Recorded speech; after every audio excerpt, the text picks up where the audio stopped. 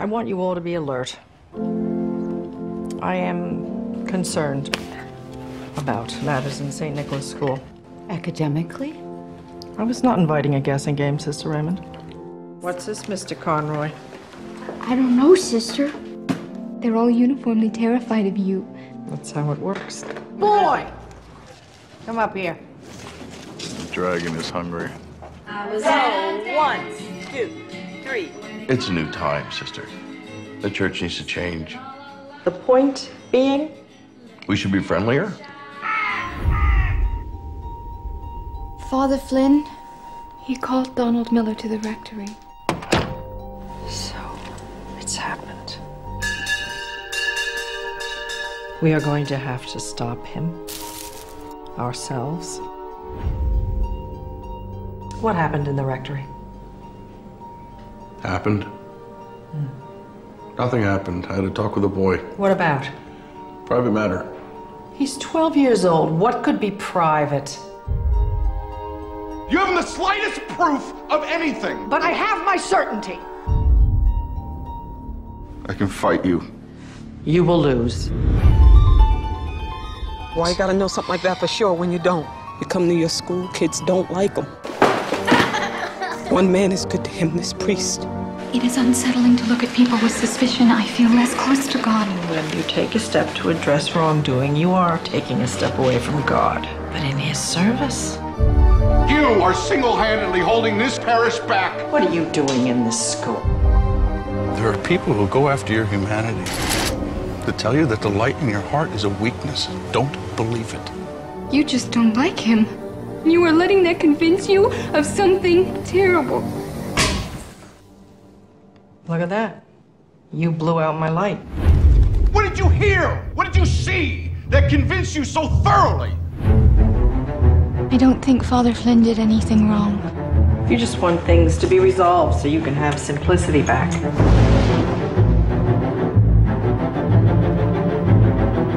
Doubt can be a bond as powerful as certainty. I'll throw your son out of this school. You hurt my son to get your way. You have no right to act on your own. You have no right. I will do what needs to be done. You should understand that, or you will mistake me.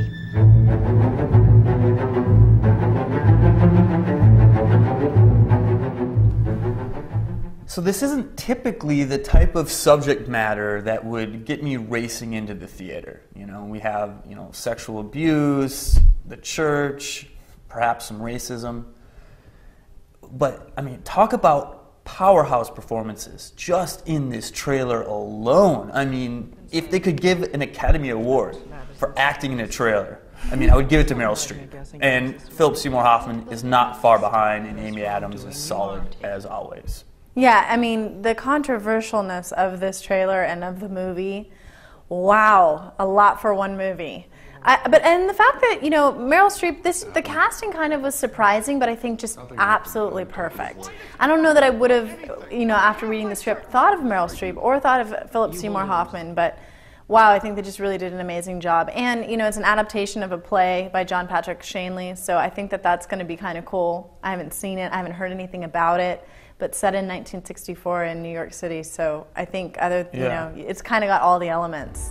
she's so stubborn and hard-headed that on her convictions alone that she's ready you know to convict this guy and he just there's, since there's no evidence it just seems like wow you know it's just like a head-on-head battle that's really really going to be interesting to see play out in a full feature film In the beginning, you know, you almost wanted to hate her because they, they painted her as this, you know, horrible woman, and, and Philip Seymour Hoffman says, "Oh, the dragon's, you know, hungry," and then to see, you know, the, the fight and the battle that she goes, you know, goes after for this child.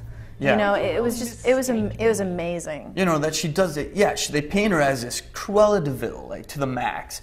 And then you know but she really does have this child's best interest in heart.